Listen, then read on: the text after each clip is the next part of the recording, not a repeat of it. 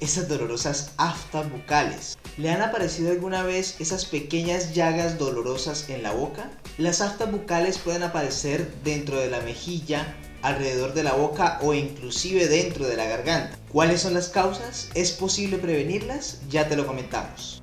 Antes de comenzar, subimos contenido seguido, así que asegúrate de suscribirte para no perderos información nueva. Ahora sí, comencemos.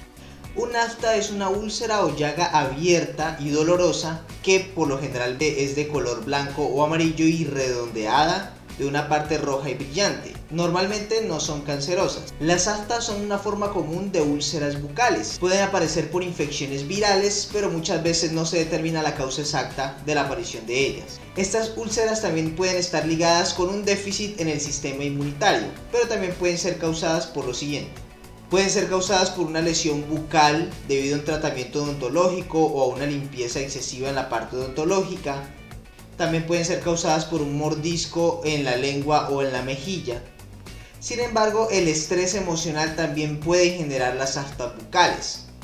La falta de ciertas vitaminas y minerales dentro de la alimentación, como por ejemplo el hierro, la vitamina B12 o el ácido fólico. Los cambios hormonales y las alergias a algunos tipos de medicamentos. En cuanto al tratamiento, las aftas bucales aparecen y desaparecen por sí solas, pero cuando las tengas puedes hacer lo siguiente. Intenta no comer alimentos muy condimentados o que tengan picante, puesto que ellos pueden irritar aún más la zona. Puedes utilizar medicamentos de venta libre para el dolor.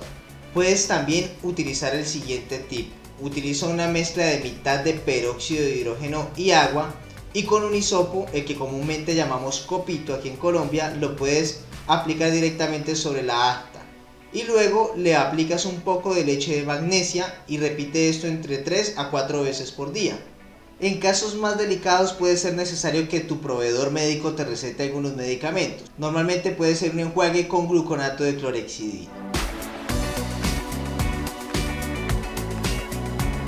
¿Te gusta la información que compartimos? Te invitamos a difundirla entre tus contactos. Si tienes alguna pregunta, colócala en la caja de los comentarios. También te dejamos nuestras redes sociales para que nos sigas en Instagram, en Facebook y obviamente suscríbete a nuestro canal de YouTube. Nos vemos en otra ocasión.